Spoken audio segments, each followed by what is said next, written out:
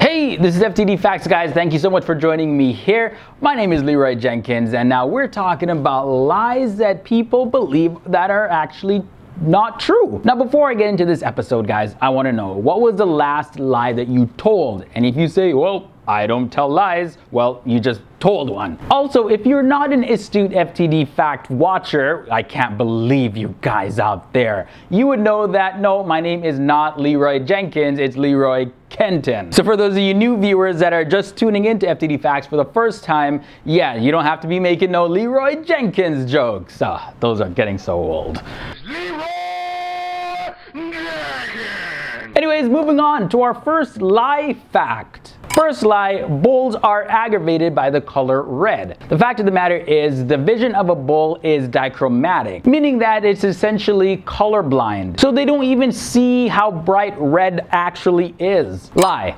Thomas Edison created the first light bulb. But the fact of the matter actually is electric lighting and incandescent bulbs existed before Edison. What Edison actually did was discover a type of bamboo that had a higher resistance to electricity than carbonized paper, which means now that light could be more efficiently produced. The next lie is we only use 10% of our brain. What? However, the fact is we use 100% of our brain. Now, before you say, no, that's the biggest lie, we are not that smart as human beings, you gotta give yourself a lot more credit than a lot of people say you should give because we actually do need to use 100% of our brains. The 10% myth was actually a misquote from a man by the name of William James, who was an American psychologist that said, the average person only develops only 10% of his latent mental abilities. So there's a big difference there. Now, have you ever heard the phrase beam me up Scotty coming from Star Trek? Well, the phrase actually was never even uttered by anyone from Star Trek at all. The phrase beam us up, Mr. Scott, it came from gamesters in Triskelion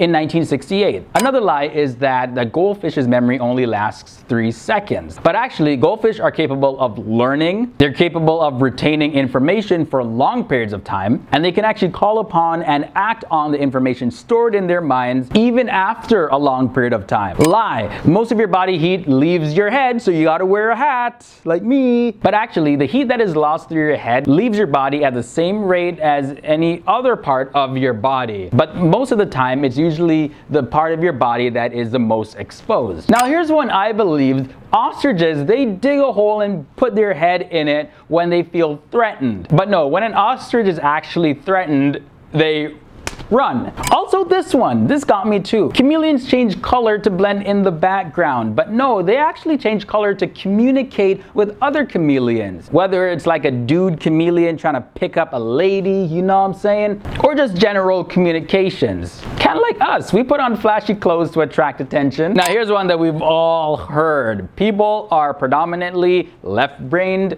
or right-brained. Well actually, the fact of the matter is that is a complete lie. Whether you're more emotional or more creative, it has nothing to do with being left-brained or right-brained. It's just who you are, based on several other factors, of course. Now, another lie is that we taste different flavors in different parts of our tongue. So like bitter is only at the back of the tongue, salt is at the front of the tongue. But no, that's not the case at all. You see, our taste receptors are all over our tongue. They're not confined to just one area of the tongue. Contrary to popular beliefs, coffee is not made from beans. Coffee is actually made from seeds that are called coffee beans or coffee cherries. Now here's one that's propagated. Vikings wore horned helmets. But actually there's no real reason to believe this. There has been no horned helmets ever found. Oh my gosh guys, and Frankenstein is not the name of a monster that came alive because of some flash of lightning.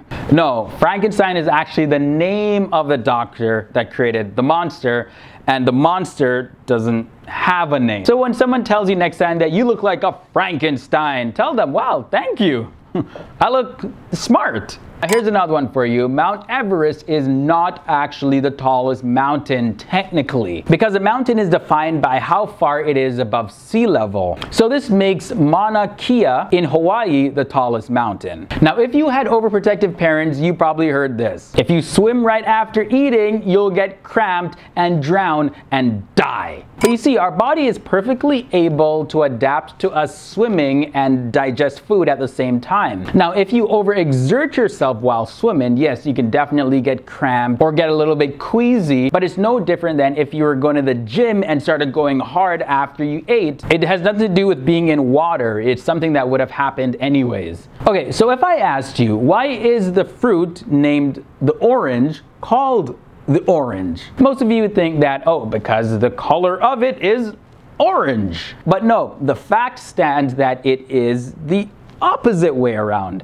The color is named after the fruit. The English speaking world referred to the color orange as giallo red, meaning yellow red. But the word orange itself was actually introduced to English through the Spanish word naranja, which came from the Sanskrit version of the word, meaning orange tree. So when it was adopted in English, they dropped the N from the beginning of the word and formulated it into the word orange. Yeah, I know, pretty mind-blowing, right? Now here's one that scared me, man. Gum takes years to digest and I've swallowed so many gum in my life, it is ridiculous. But no, gum digests pretty much the same as any other food. Lie, watching TV too close will damage your eyes. Well, you know, sitting close to the TV is not linked to any sort of health issues at all. The origin of this dates back to a time when a batch of about 100,000 televisions were released by General Electric in the 1960s, and those TVs emitted radiation that was over 100,000 times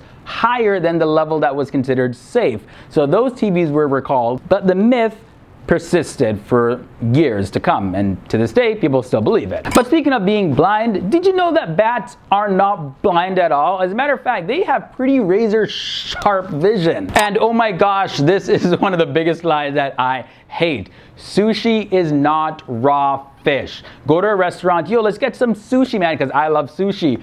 Ew, I don't eat raw fish. That is disgusting. No, no, no, no, no. When raw meat or raw fish is served, that is sashimi traditionally. But the most common type of sushi is wrapped in seaweed, which is called nori, with rice in it and other sort of foods. You can put avocados in there, potatoes, yams, whatever the case may be. And the words sushi and sashimi are not interchangeable. They're completely different foods. So sushi has nothing to do with with raw meat. You can put raw meat or raw fish in there, but that is not sushi. So there you have it guys. We cleared up some bold-faced lies and myths out there that people believe are true. And hopefully after learning this now, you can breathe a little bit easier. So thank you guys so much for joining me in this episode of FTD Facts. Be sure to hit that subscribe button if you are new to be notified of future videos because this is where you learn about any and everything each and every single week. Be sure to check out our other videos as well. We talk about people, science, outer space, everything pretty much. Until the next video guys, I'm Leroy Kenton. I'm outie. Peace.